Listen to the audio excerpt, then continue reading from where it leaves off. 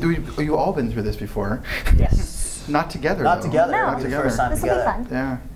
Yes, yes, yes. What? Way to chime in. Yuki and I are like, yeah. And you're just like, oh, whatever. No, because I was thinking about what we were talking about. I was just in a completely different world. It's been a long year and a half. Yes. Since we saw you all together last. Yeah. Yeah. Does it seem like the entire world has gone by, or Yes and no, I think. I'm just excited for this to come out. Yeah, Yeah. it feels like it feels like it's been a, a long time since we were all together. That feels like a long Yes. time, and it feels like there's definitely been some big changes, but I think they're good ones. You know? Yeah, I agree. Yeah. I mean, I think it's probably longer for me because I was in prison. Yeah. So. Just a we were waiting. I know it's true. You guys We were were bloody waiting. waiting, Yeah, so- it's true. No, it has been. It seems like so much has changed. That's what's cool to kind of be taken away and taken out of everything, and then come back and just see like where your friends are, what your friends are doing, like the people Yeah. you love, and what's like happened. It's been pretty amazing. And I'm so glad that you know we did all wait for Yeah. this, for Yeah. you to be able to come and do this with us. It wouldn't have been the same. It would have been stupid. Yeah. There would have been no point to it. Yeah. Because we were all a part of it because of Elgin. So Yeah.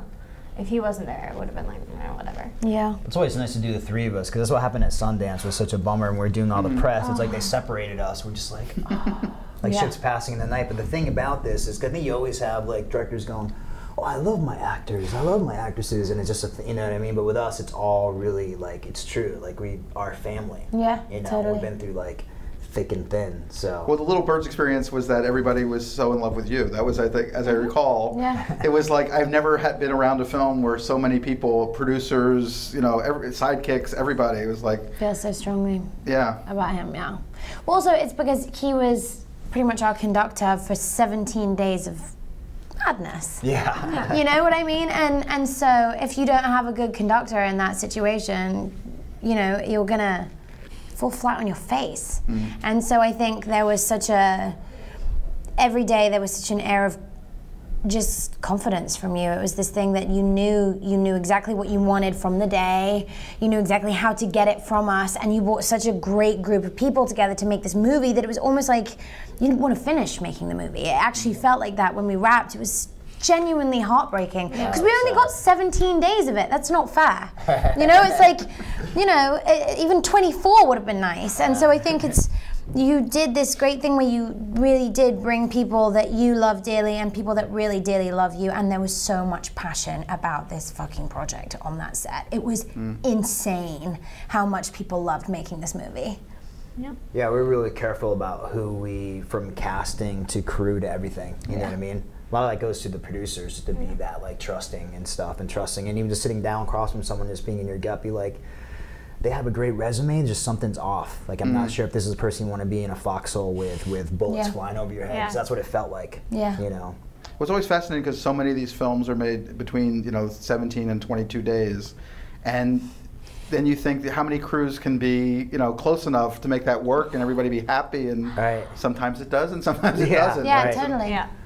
A lot of people. well i also it. think you did a genius thing in finding a woman dp Yeah, definitely. because it was almost like a mother and a father babying the the, the, The cast. children. Yeah.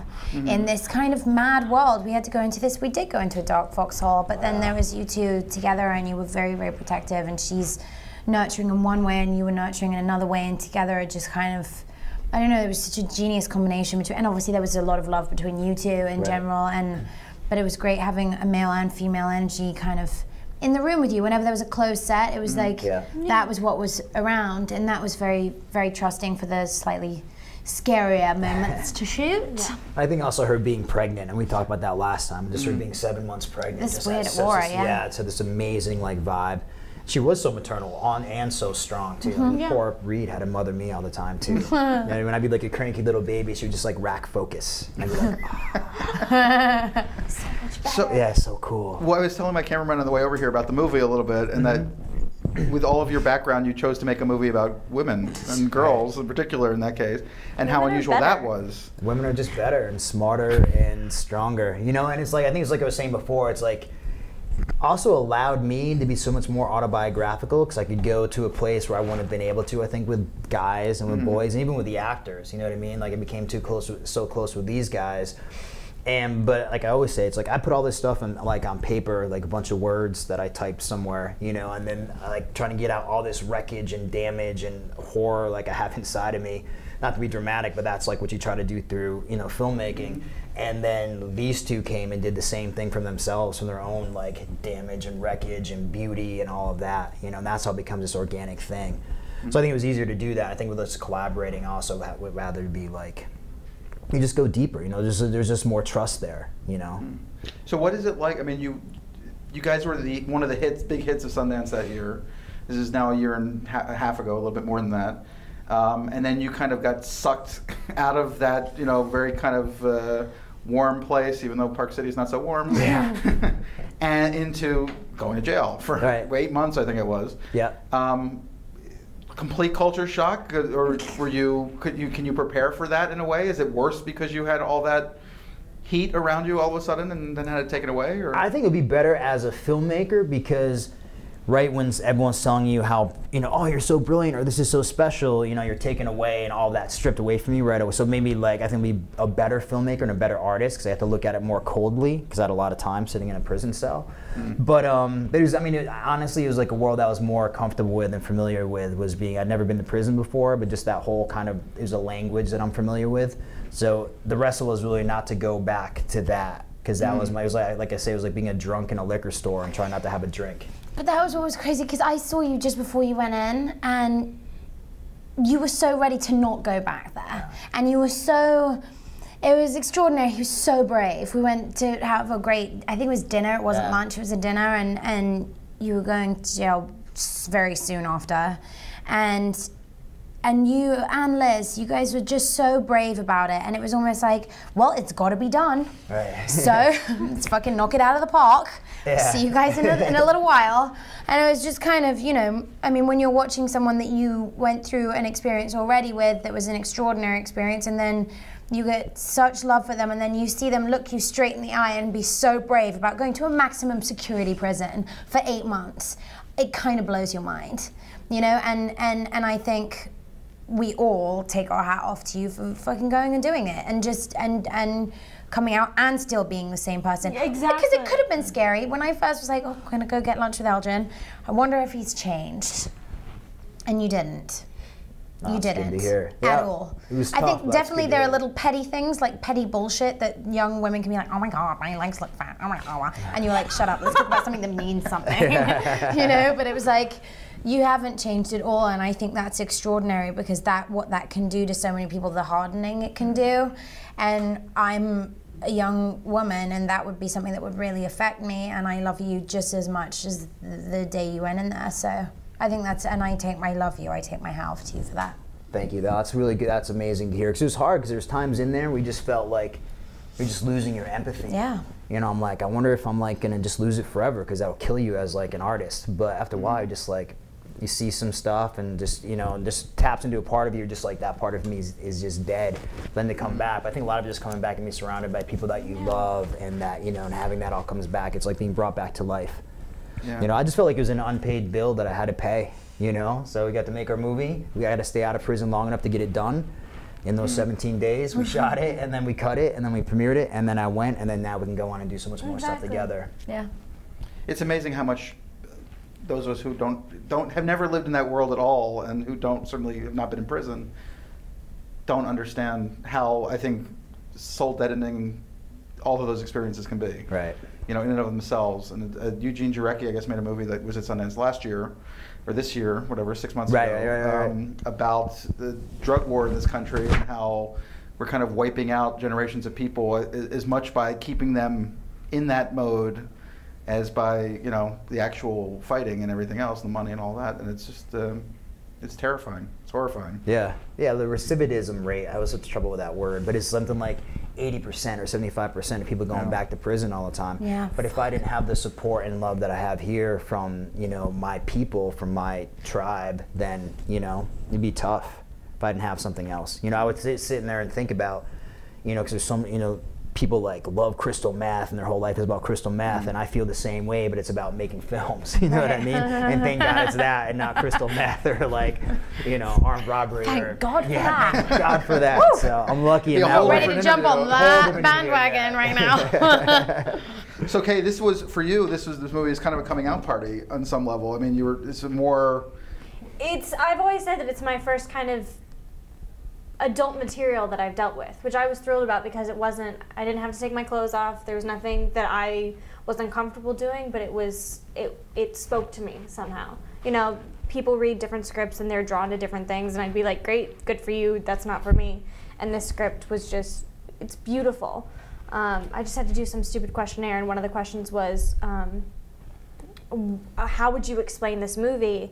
And from my point of view, it's it's a beautiful story of the demise of a friendship, and that's how I've always seen it. And it's it's um, it's also one of the few projects that I've been a part of where the shooting experience was great.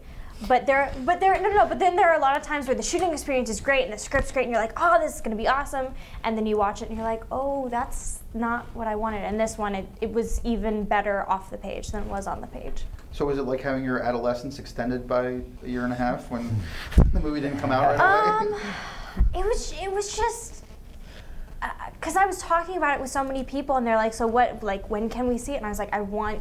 I want you to see it, but the the the weird thing is when I take meetings and people bring up, oh yeah, Little Birds, I'll be like, have you seen it? They're like, yeah. I was like, how do you how have you seen this? It's not out. It's nowhere. Um, I'm just happy that people finally get to experience it because it's it's one of those few movies where it really takes you through an experience. It's some movies like you you watch it and you enjoy watching the pretty pictures and the pretty people say pretty things, but it's you don't ever really get invested. And I think people really get invested in this movie. So with as much as you've done since then, Juno, and around then, and around this, as much as you shot, because you've been on a lot of sets. the She's last- busy bee. Is, is it interesting to go back? Is it do you, does it all just click back into memories of what it was like? And Yeah, I mean, well, I also had. I was the lucky one that got to kick it with him for two years beforehand, so he became like family to me. So it's So jealous. yeah, no, I kind of, you know, I lucked out with that, man. I got to go, and it really did become like family. It became so. It's something that, yeah, it feels innate to sit here and talk about it. I talk about it when I'm not meant to be talking about it too. It's like you talk about good experiences. Like, well, Little Birds was a really good one, you know. So it's like it was a challenge. It was a tough one, and it, if it had been in the hands of another director, I I don't know how I would have felt about a bunch of those scenes. You know, I've been very lucky. I've been definitely uh, explorative with the movies I've decided to make and the parts I've taken, and and some of them you feel really vulnerable when you're making it, and some of them you're just like, dude, I'm like growing up on camera right now. Holy shit, you know? It's like, and so I think um, it, it feels good to talk about it. It feels good to talk about it and actually be able to talk about it in a way that people are going to listen now. Right. You know, not just kicking it at dinner, being like, "Wow, you guys wait for this one." Just keep waiting. You know, it's gonna now come. it's like we're talking to you, and people can watch and and and hopefully go and see and love the movie. And it's like, you know, people ask those questions. What do you What do you want people to feel from watching this movie? And I really don't know. I, I don't think you can predict that with this film. You just want people to fucking feel. Like people need to just walk away from this movie, being able to think and being able to feel. Because I think that's what the script did for me. And if we make, you know, even if they're like, wow, I really didn't like it. Oh, good. But you felt something. Yeah, exactly. It's got to spark a conversation, and Mm-hmm. I so. Oh, it's exciting. well, I would think it kind of has to be different for every audience and every person. I mean, Right. It's Well, true. it- because it's somebody, you know, someone's gonna react being like, I really want to go and call my daughter right now. Yeah. Like that's what I want to do. Somebody's gonna burst into tears and be like, I can't explain to you what I just went through right now. Somebody's gonna be like, Well, I didn't fucking get it. I thought it was awful. Yeah. And then somebody's gonna be like, That was my childhood. You know, and I think that's mm-hmm. such a great thing with these kind of movies that we make that are tough subjects for sure and daring and you throw yourself in there and you fake it to a certain extent, but how much can you really fake those kind of moments? And when you connect with people by showing them these scenes and them kind of being turned on by it or turned off by it or moved by it, or I mean, it's just, cool. Yeah. I think yeah, this was been so scary about even when we showed it, you know, we had the premiere at Sundance, what I told you about last time, and I just I hated it. Just sitting there, you know what I mean? I had my wife on one side, June on the other. Her dad was there. You know, we're all there watching it. And it was just like so scary because it's really your deepest, darkest, like most secret place that we put into this film. Suddenly, it's like people are like, "Ooh, wow, Yeah. action." Oh wow, look at that. Yeah. You know, and it's Hey really now. all of us. You know, it's all of us just bared. So it's always scary. Um, but so it's funny the reactions you get with sometimes, especially.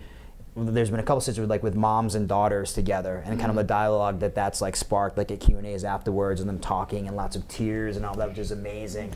And then you have the other side, which is like I don't think middle-aged white dudes really get our film that much. Right. No. Unfortunately, they're mostly the critics. I think are most middle-aged white dudes. But um, but even in like, because we had a couple like great like scathing reviews, but then reading that, I'm like, that's a movie I want to see. you know what I mean? Like how you know, just talking about how like this and this and just a bunch of like. What did they hate the most? What is Um, it? I don't remember bad reviews. I, I think um, well that's a, that's a horrible thing because we've had so many amazing reviews, but then just like humanity, you're just like, uh, but I can you know quote every bad review, which is about like you know it's a couple. No. But uh, I remember every comment that anybody's ever put up on YouTube saying, "What a shitty interview." yeah, totally. Isn't that Two funny? what a great interview, and then it's Yeah. like the one that says that a crappy interview. and that's I'm when like, it gets oh, so boy, funny. yeah. Is that's such like a human thing. But even but even the reviews, but they've been totally they've nailed it in a certain way. But there's I think they also don't understand. There, there are parts in the film, and I think every actor, even to the people who maybe play the villains or the bad guy, like the brilliant J.R. Bourne that comes in and turns the whole movie upside down Kills it. Um, he touches something in people, and sometimes it's a very visceral reaction against them. I think with everyone it is, but Yeah. some people have a hard time. Maybe it touches something that rubs them really the wrong way, or they see something. Because it was really important to have everyone bring the human side. Like no one's a bad guy, and spending a lot of time with the people that do bad things. Of like you're not bad. This is your situation. Also, it's a movie. You have to be open to going and speaking to the guy afterwards and be like, "Wow, he's actually an angel." Yeah, yeah, totally, exactly. But the JR people is who like are the scariest sweetest in movies, I think, are the people who are most The normal. nicest. Yeah. You Yeah, can actually because they're identify actually with them okay. they do terrible things. Yeah, Yeah. and they're actually okay to go there because they're like, well, I'm gonna go home and I'm gonna eat Cheez-Its and watch like Yeah, Jesus. whatever bad TV I'm gonna put Right. on with my best friend right now. You know what I mean? It's like, yeah, I think the people that are more dangerous don't take those kind of roles. I think there's a s- you know there's a very vicious scene. No, I at meant the end. character itself, actually. Oh, I was Oh. saying, like the I idea think, that people, somebody who is you connect with as a normal person or you identify with, and then it turns out they're really there's a Then they dark, dark side, and they do something terrible.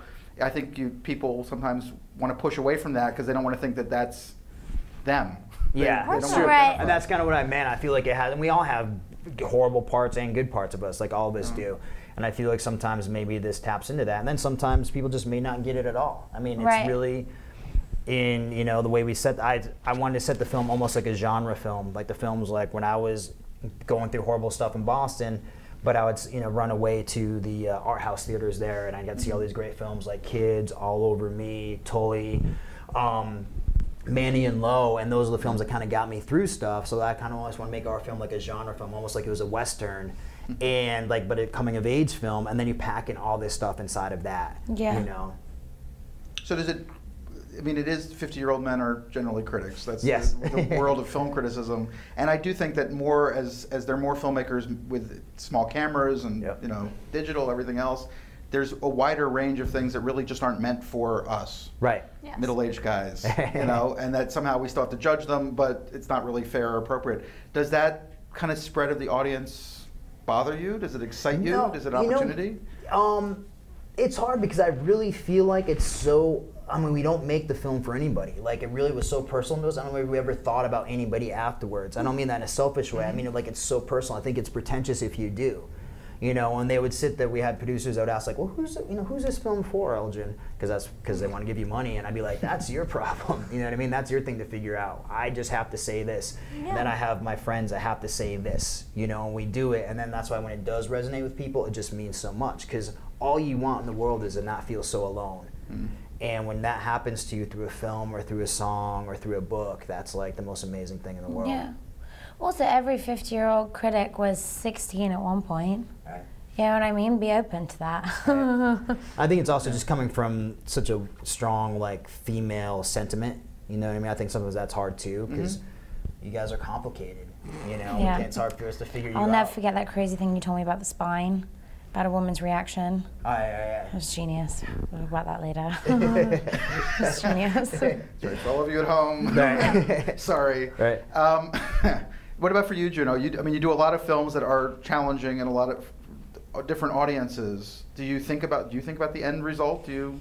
Oh yeah, for sure, but only on my part. Like it's not in my control how a movie's going to turn out. You have to go do your thing and walk away. And as you get older, I think you learn that more. Um, but I think about it for sure. Like I've watched. I, someone asked me this morning on a phone interview. They were like, "So how does it feel to have watched yourself grow up on screen?" And I was like, "Wow, you know what?" it's been kind of tough sometimes because you you know you're watching yourself but you're not playing you. There are mm-hmm. definitely moments that you've been through and you're like shit that was a little too honest but no one knows. It's cool. And then there are moments where you're just sitting there being like thank god i am not that human being. And then there are moments where you're like damn i look that i worked it out in that one. And then you're in moments where you're like oh i should have kept my clothes on in that movie. So it all kind of you know it's a weird but I think it's important to to be challenged. And you know what? I'm lucky in the fact that we both are, in the fact that we're in our early 20s, but we look like we could still be maybe 14. Maybe. I, I could maybe. be like Maybe I've been through my- 17. my and teens. so the roles that come your way for those kind of women are normally about growing up and they are kind of daring and they are going to be explosive because they are about losing your virginity. They are about finally being like, oh my God, I have to grow up and figure my stuff out. They are about the first time you read poetry and how it makes your body feel. And, you know, they are about those kind of things. The first time you fall in love, the first time you have your heart broken. And those aren't desperately nice things always. Mm. And so, but I've never been scared of an end result. I just hope the movie portrays the script. I don't, I'm so passionate about the scripts I want to make. So I think it's very much if if I love a script and then I watch the movie and it's upsetting how it turned out, that's going to hurt. But I'm not, I don't really care if people say, you know, oh, Juno took it a bit too far because no, I didn't. Or I don't think I have yet, yet, being the operative word. We'll see. But I think it's important to be daring and I think it's important to show the good, bad, and the ugly of, of that kind of age group.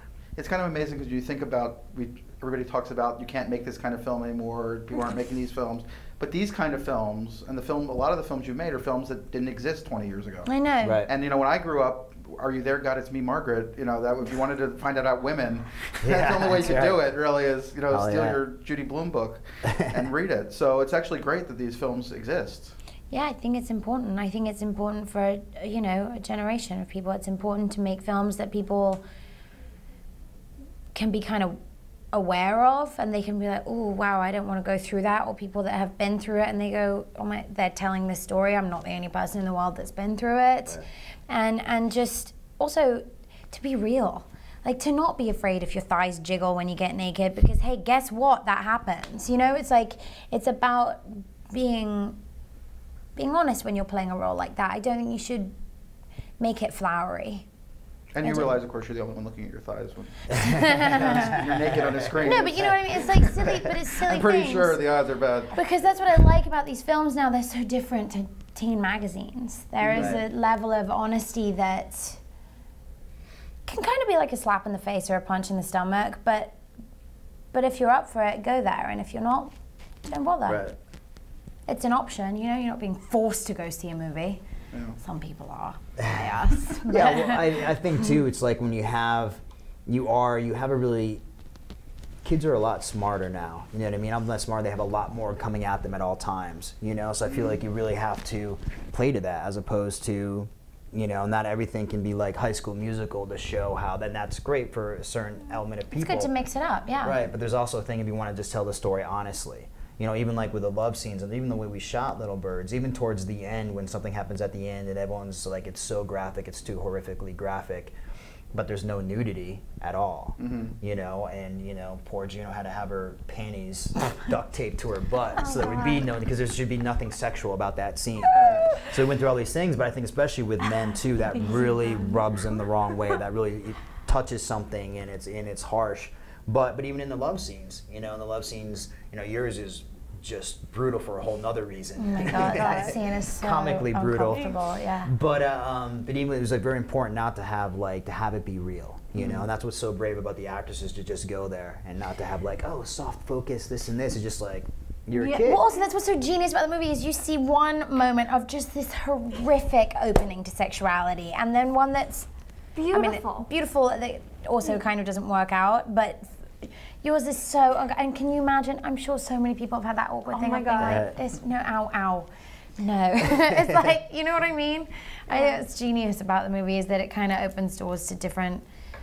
Well, and I think movies should Character. show how ugly things can be because I- I think our generation and lots of generations they grow up watching movies and TV and they're like, oh, that's how my life's gonna go, and then life is not like. No. uh, It's not. It, it doesn't happen that way. You don't fall in love with, and it's not an immediate outpouring, and they don't say beautiful things like that. That doesn't. It doesn't happen. For some people, maybe it does, but not not most of the time. And that's what I loved about Little Birds is that it shows, and it's not just the sexuality, but friendships and like it just. And Relationships. yeah, relationships and and the mother daughter and and families and how ugly they all are. Yeah, I feel like everything is like in real life that I really want to capture in Little Birds. I think, which you guys, these guys did so brilliantly, and just how clumsy everything is. You know, between like sex is clumsy, especially when you're a kid. you know, and fighting and violence is clumsy, and we I think we captured that really well. But even relationships are how you're saying one thing and you really just can't say what you really want to say. You know, or there's a moment with you Well, it comes finally. you out with yourself too. Yeah, and there's a moment with you and Leslie Mann, who's brilliant as your mom, um, where finally, you know, Juno is feeling, or her character Lily is feeling like she's finally had this romantic moment, and she'd love to have this time to talk to her mother. But this, her mother picks this opportunity to then talk to her like she's a baby and talk about her as a baby. You know, and there's mm-hmm. always like these missed opportunities. Then David Warshofsky, who's so brilliant as your dad, who's just like this poor man who's almost mute because he's so mourning like your mom and just your guys this whole conversation of just nothing you know and i think mm-hmm. that's that's all the actors they capture that like i think just brilliantly those missed opportunities because we don't say what we really want to say what do you want to say right now Well, I don't know. no. Well, the funny thing is, I mean, experience is a great thing, and it teaches you a lot. And at the same time, even bad memories of things that you did when you were 16, 17 years old, and exploring exploring sex for the first time, and all those things, are somehow sweeter and more profound all right in a way, even though they weren't as experienced, or they weren't as you know. yeah Perfect as Yeah. they're meant to be. yeah exactly and you don't know when you're having usually you don't know when a big moment has come in your life Nope. you know what i mean you have no idea and it's only later you look back but usually we just stumble Mm-hmm. upon those and like you know bustle our way through them And we all have to get hurt Yeah. to get well. Yeah. it's kind It's of a given. So I must be terrible. I'm not a parent yet, but I can imagine as you being a parent, how hard that's going to be to get to let your kid fall. Well, the funny thing is, just the thought of it is terrible because he still hasn't bled a lot. But I got to say, when we were having the baby the first time, we found that it was a boy. The thought was, well, it's a relief in a level because you can teach a boy to be nice to women, Right. But it'd be very hard to teach a young woman in this society stand up for how to deal with men Yeah. who, you know, lie and manipulate and are trying to get one thing. Totally, but that's what's so interesting because that is your decision to figure out what feels good to you and what doesn't. Whatever your parents say to you, at some mm-hmm. point you're gonna go. I'm gonna go do my own thing, Mister. And it's like, and it's, and it is. I think, I think that's what is daring about these movies is Lily's mom is trying so hard to help her, and she's going no. hold on to She's going no, and it doesn't necessarily need to be with sexuality. It doesn't mean you know. I think at mm-hmm. that age, when you are that age, you're like, no, I don't want to study French. I want to study art, mm-hmm. and I'm going to do that. You know, and it's about because you are learning who you are as a human Right. being, and so you know that's also such a i think it's such an interesting moment too about relationships with children and parents because it's kind of where it really blossoms for a long beat of time. How you guys are, are you guys going to be friends? Are you guys going to be enemies? Are you guys going to be mother and daughter father and daughter father and son mother you know it's all about figuring and it must be such an amazing amazing thing to have this miniature creature that you bring into the world and then you bring them up you teach them what you what you can and what you know and all this but they are so their own person. Yeah. always. Like that's what people have told me that have had children they're just like they are completely their own person and there is no reining that in. And i think it's you know how brave to kind of capture that kind of stuff on camera too of just like people will be people So have you dived right back into the swim of things since you've been out? Oh yeah, yeah, so much so. Yeah, I literally I was trying to figure it out because I was talking to someone who's doing this article, and uh, about how many projects I've been going, and I have 12 projects at the moment. For real, isn't that crazy? Which is just So that's how you get one made. yeah, that's exactly. And I remember being told that uh, by Catherine Hardwicke, who's one of my mentors, and she was just like, "Yeah, I have five things going right now. and We'll see which one goes first. And I'm like, "Oh, that, that, that, that's really how it works." And then that's really how it has to, because it's so hard to get anything made. Yeah. You know, as I say, like the universe does not want to change, and the, and films can change the universe. The universe is going to do whatever it can to smash down your project, whether it's getting arrested, whether it's this or that. You know what I mean? It's going to do whatever it can, but then you have to fight harder and you fight for it, and that's why it means so much when it finally. But you got to have your army. You got to have the right people with you to see it through.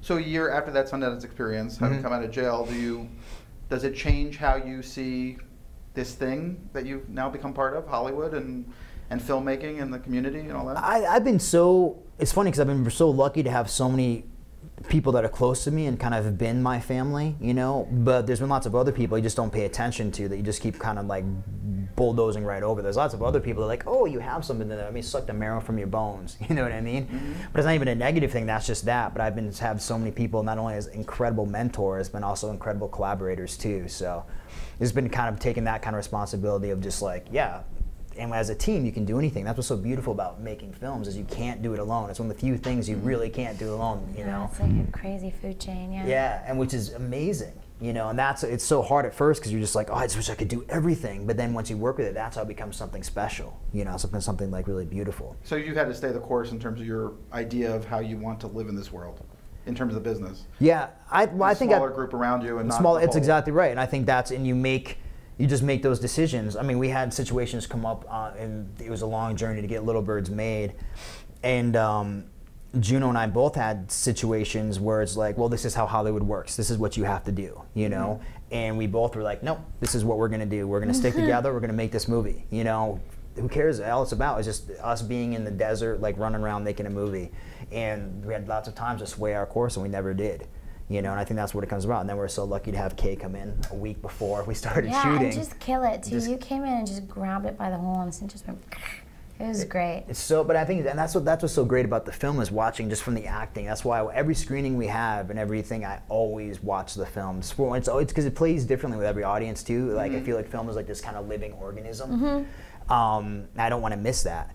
And uh, but then just watching these two girls, and it's so because instead of just having this where I feel like a lot of actors may have played it differently, where they're just hitting heads and butting heads the whole time. It's just like you have this fire which was Juno, and then you have Kay that came in and played it so brilliantly. It's, it's kind of like water, like underneath the whole Yeah. time, and just this great like swaying back and forth, as opposed to like just like butting heads. And it's brilliant because then it totally works at the end when we find out who the two really are. It was just a brilliant choice on your part, Pam mm. Baker. It's not just me. It, it's just. It was the two of us. We just we we clicked in the right way. Had you brought somebody else on, they could have been just as good, but in a different way. Uh, I'm happy to have done it though. Yeah. no, we're all, Well, you know, it was so, and so it was special. It was. It was special, and it was. It was, and even with Juno, who I'd known so well, and at that time for a long time, and also we just again, it was almost like boot camp for a couple years because we went through so much together, highs and lows. You know, a lot of tears. Um, but uh, but then to watch her and almost like lose her at times, you know, and we didn't talk about it till a couple months later, because but it was like there are times where I was just like, who is Lily and who is Juno, you know, and it was, yeah, but it literally it felt like holding her hand, like I would say this, but it's really true. It was like holding her hand like outside this 18th story, and she was trying to jump, and I was trying to hold on to her. So to have that, and then to have Kay underneath that, you know, the whole time was just like. It's brilliant. That's why I could, that's why I watch it every time. It's not because the direction is so brilliant at all. It's just like I could watch these two forever. Well, hopefully fewer tears to come. Yeah, totally. Hopefully, Oh, tears of crying's joy. important though. Crying's Yeah. whether it's happy or whether it's sad, it's really important to let that shit out.